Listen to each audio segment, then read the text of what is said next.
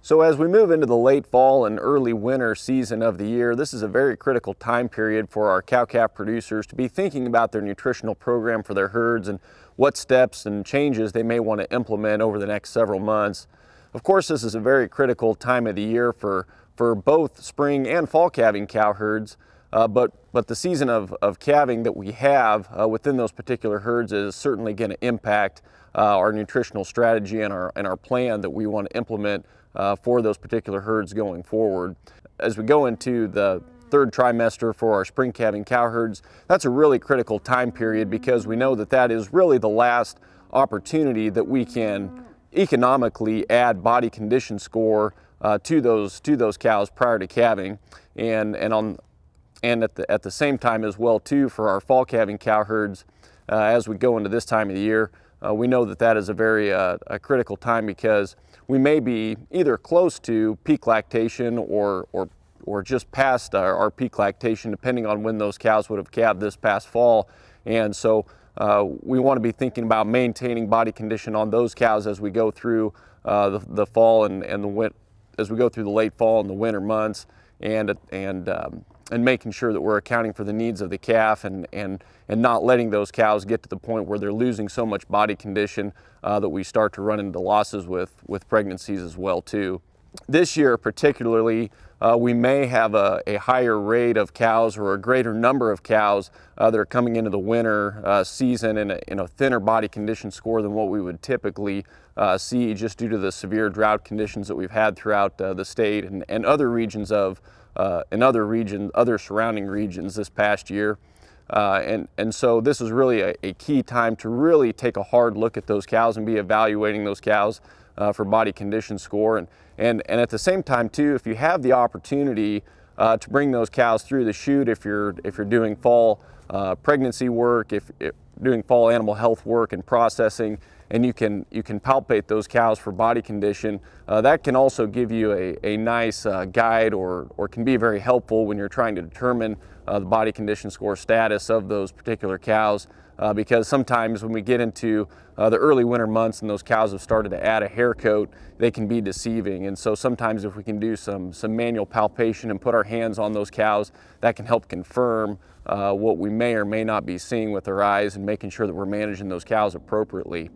Uh, one thing that we always want to consider and, and think about doing is, is, strategically sorting those cows by age and, and, body condition score. And, and, and usually if we just simply sort cows by age, and if producers can do that, uh, that, is, that is a nice, uh, that, that is a, a, good strategy, a good approach, uh, because if we sort those, those younger cows together, those two, three, and four-year-old cows that we know have increased requirements because they still have a, uh, still have a, a, a requirement for growth, uh, we know that, that typically, not always, but typically body condition score will kind of follow with those cows. And so that allows us to do some strategic supplementation uh, with, with those groups as well too.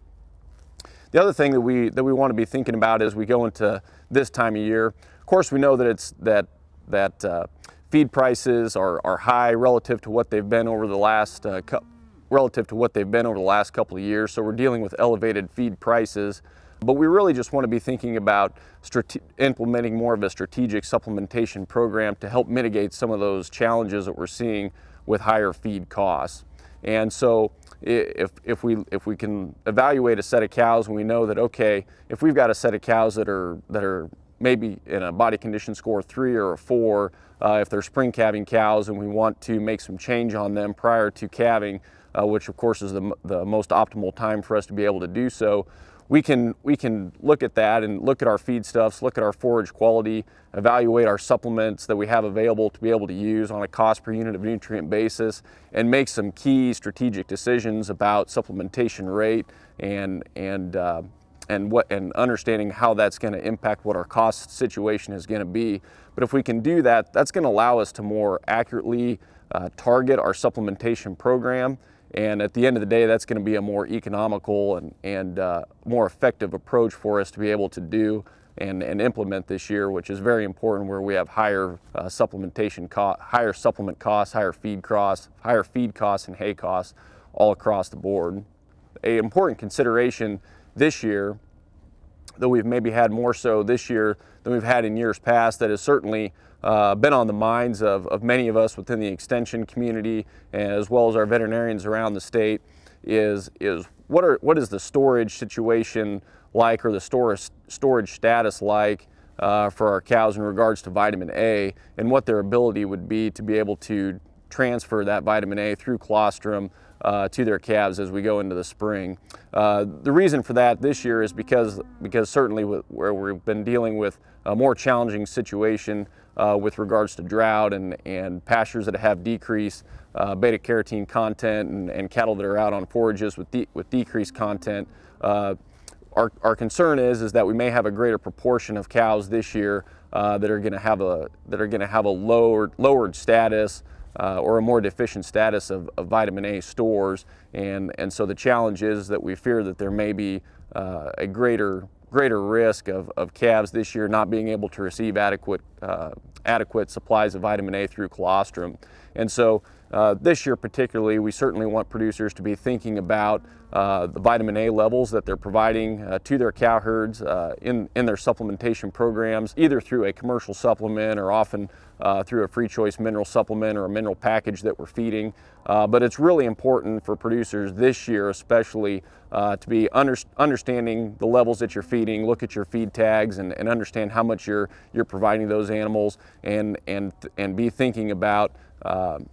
and, and be thinking about if, if we need to be offering a higher level than what we potentially have been in the past and, and making sure that we're, uh, that we're taking a proactive approach with, with looking at that. So very critical time period of the year with, with regards to many different factors uh, for our cow herd nutrition programs. Uh, the key this year is that we've got extremely high feed prices for all feed commodities and hay, hay and forages as well. And so we really want to be thinking about just taking a proactive approach for more information on beef cattle nutrition and information on helping develop more, more effective supplementation programs, feel free to visit our website, ksubeef.org, or contact your local agent or area beef specialist.